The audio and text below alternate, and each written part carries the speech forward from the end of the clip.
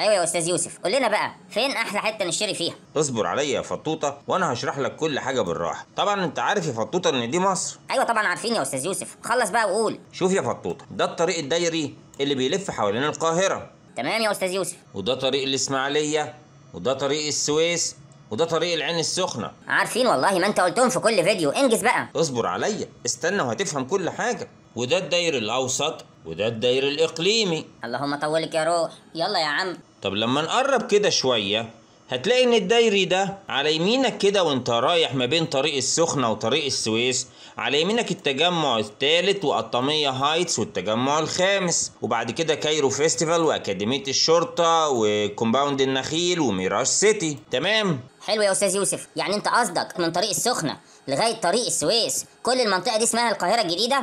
أيوه كده بالظبط. كلامك صح يا فطوطة. ولما عملنا الطريق الداير الأوسط اللي يا دوبك خلص من سنة ولا اتنين فهو الحد الفاصل دلوقتي بين القاهرة الجديدة وبين العاصمة الإدارية الجديدة. طب وإيه هي أحلى حتة للاستثمار دلوقتي يا أستاذ يوسف؟ شوف يا غالي الشارع الأزرق ده هو المحور الوسطاني اللي بيقسم القاهرة الجديدة لنصين نص شرقي ونص غربي. وهو جاي من طريق السويس لغاية طريق العين السخنة وبيكمل للداير الأوسط اللي هو الأحمر. وفي شارعين تاني بيقسموا القاهرة الجديدة لنص بحري أو شمالي ونص جنوبي اللي هو شارع التسعين الجنوبي اللي هو ده وشارع التسعين الشمالي اللي هو ده. تمام ما أنا فاهم كده القاهرة الجديدة كويس وعارف حتت كتيرة فيها. بس اللي أنت ما تعرفوش يا فطوطة القاهرة الجديدة كانت عاملة إزاي من عشرين سنة؟ كانت عاملة إزاي يعني؟ هوريك. ما اسمهاش كلها اولا التجمع الخامس. الحتة دي بس هي اللي اسمها التجمع الخامس. شوف التجمع الخامس ده كان عامل إزاي من 20 سنة؟ سنة 2002 مثلا. ياه ده التجمع الخامس كان يا دوبك متقسم واتبنى فيه مباني قليلة. ولا في شوارع ولا شجر ولا خضرة. لا شوف كمان معايا المنطقة الوسطانية اللي بين التسعين الجنوبي والتسعين الشمالي اللي النهاردة بقت مليانة بنوك وشركات ومليانة حاجات. إيه؟ شايف دي؟ دي ليك فيو. شايفها كان الصحراء إزاي سنة 2002 شايف القطاع التاني في منطقة الخدمات بين التسعين الجنوبي والتسعين الشمالي وشايف القطاع التالت والرابع. شايف كل القاهرة الجديدة كانت عاملة إزاي بس من 19 سنة وأنت كنت نايم؟ ما كانش فيه يا دوبك غير الرحاب اللي ابتدت شوية أهو والتجمع الأول.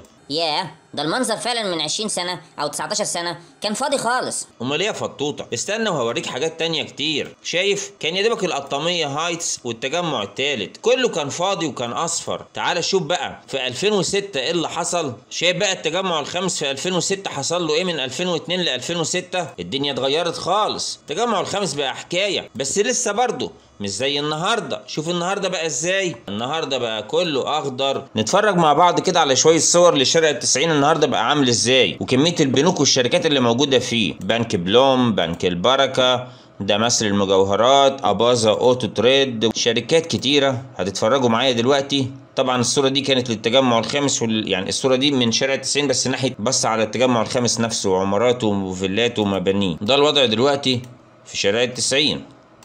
اللي ما يعرفش يعني اديكوا عرفتوا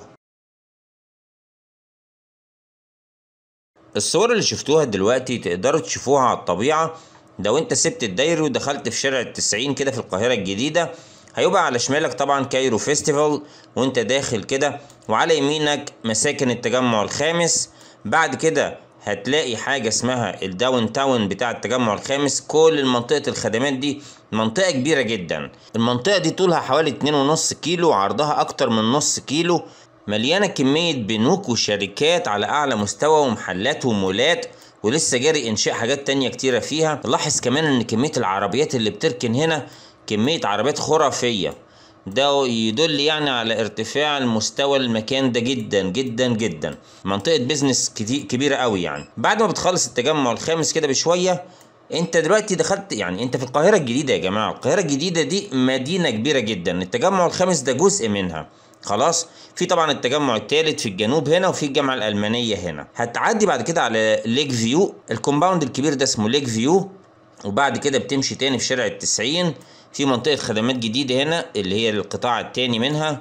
بعد كده منطقة خدمات التالتة والرابعة وبتدخل على جامعة المستقبل و Porto New Cairo. بعد كده بتبدأ في اللفة دي لأن الجامعة الأمريكية بتبقى على يمينك. هتفوت الجامعة الأمريكية وتوصل لغاية هنا في الميدان ده. تقريبا اسمه ميدان إعمار. بعد كده هتيجي داخل كده اهو يعني هتيجي لافف كده في الصينية دي وتدخل كده علشان توصل لمحور محمد بن زايد. وعند محور محمد بن زايد يبقى انت كده عديت اللوتس كمان انت هتمشي على طول. هتلاقي مشاريع ل Palm Hills وليان وكومباوندات كتير على يمينك وعلى شمالك. بعد كده هتلاقي نفسك دخلت في الصحراء بس في شارع عريض خالص هنا بيتعمل اسمه شارع النوادي. لأن في هنا كمية نوادي كبيرة نوادي الجزيرة والصيد والأهلي والشرطة. الأربع نوادي دول هيتعملوا في الحتة دي بس. الأربع نوادي دول هيتعملوا في الحتة دي اللي طولها حوالي 2 كيلو أو 2 وشوية. بعد كده بتدخل على المنطقة اللي إحنا عايزين نتكلم عنها النهارده. اللي هي منطقة بيت الوطن. يمكن أنا اتأخرت في الفيديو ده لأن بيت الوطن الناس بتسمع عنها من بدري. بس اللي لاحظته إنها لسه لسه الناس ابتدت تقسمها وتشتري فيها وتبني فيها أهو زي ما أنتم شايفين. عموما هي بتتقسم إزاي بيت الوطن؟ حي أول حي تاني حي تالت حي رابع حي خامس حي سادس حي سابع حي تامن. هتلاحظ إن الأحياء الفردية من الناحية الشرقية والأحياء الزوجية من الناحية الغربية.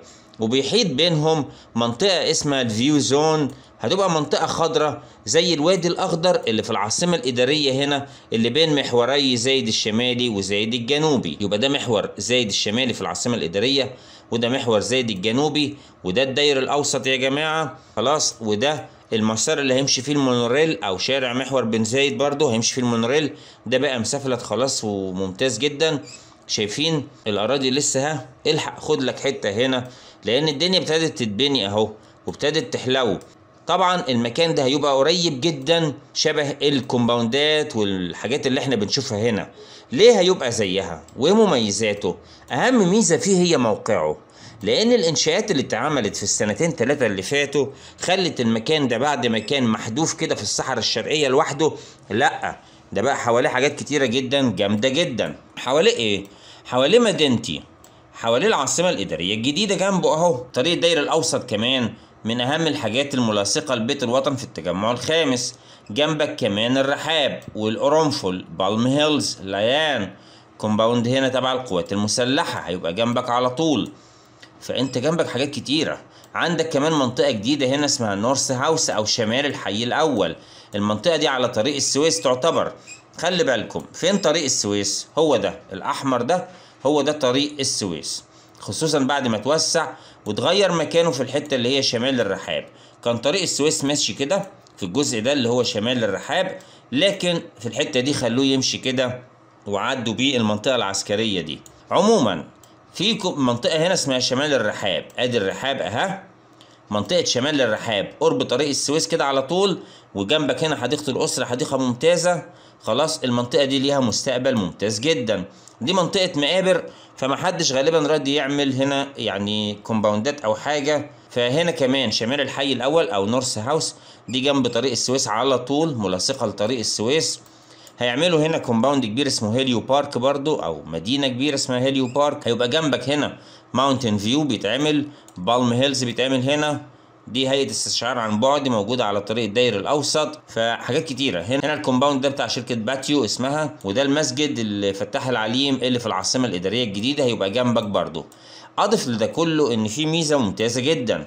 المونوريل المونوريل هيجي من التسعين الجنوبي كده ويدخل كده ويعدي جنب الجامعة الأمريكية وإعمار ويطلع كده تاني ويمشي كده. وإحنا شرحنا مسار المونوريل في فيديو قبل كده. كل الحاجات دي هتخلي من المنطقة بتاعت بيت الوطن قدامها مستقبل هايل. هي إن شاء الله في خلال 3 أربع سنين هتلاقي ده كله بقى حاجة ممتازة. فهي دي الحصان الرابح النهاردة في الاستثمار. في منطقة بقى جنوب محور بن زايد. المنطقة اللي هي دي سيتي جيت. سيتي جيت دي عبارة عن مشروع قطري عاملاه شركة الديار القطرية. فالمشروع كان موقوف من 2017 بسبب الخصومة اللي حصلت بين مصر وقطر. لكن المشروع هيرجع يستمر تاني ويشتغل وهيبقى حاجة رائعة جدا إن شاء الله بعد المصالحة اللي حصلت بين مصر والدول العربية أو قطر. فزي ما أنتم شايفين في مستقبل كبير للمنطقة دي. كمان في منطقة تانية هنا اسمها النرجس الجديدة. النرجس القديمة ملاصقة لشارع التسعين والمحور محمد نجيب والمحور ده كمان اللي اسمه محور طلعت حرب. آه النرجس هي جنبها هنا مستثمرين جنوبية هنا النرجس هنا التجمع الخامس وهنا النرجس الجديدة. دي اسمها النرجس الجديدة. دي برضو اتقسمت وقدامها مستقبل ممتاز جدا جدا. دي المناطق جنبها الجامعة الألمانية كمان هنا على طول أها دي الجامعة الألمانية. فدي مناطق قدامها مستقبل هايل جدا.